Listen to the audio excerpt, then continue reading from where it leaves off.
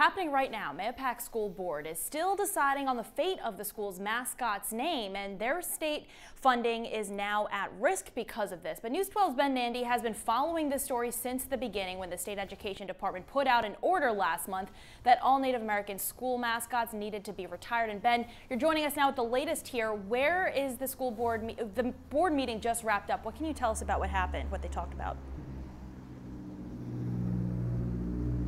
Well, there were some developments. We'll get into it in a moment. Mahopac is one of at least two school districts in our area that have not done away with their Native American mascots despite this order.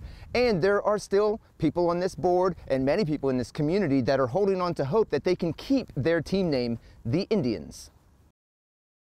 I've been living here for 30 years and I don't mind the mascot. don't care either way. Change it, don't change it.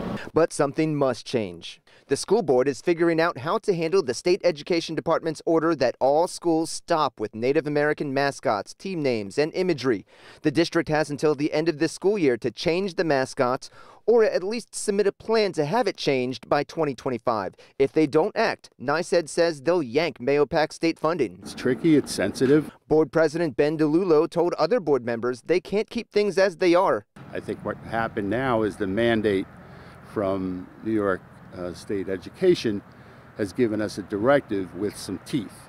And the teeth is that they're well, it can jeopardize your state aid. In an effort to keep the mascot name, some board members are seeking the one exception NYSED is allowing. If a district can get official approval from a New York tribe, the state may let that district keep its mascot. Here's the problem.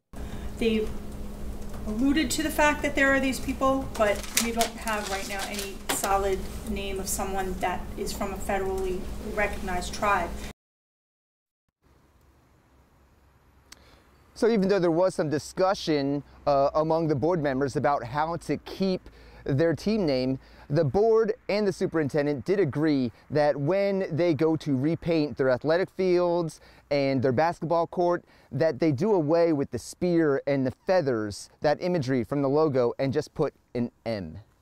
Ben Nandy, News 12.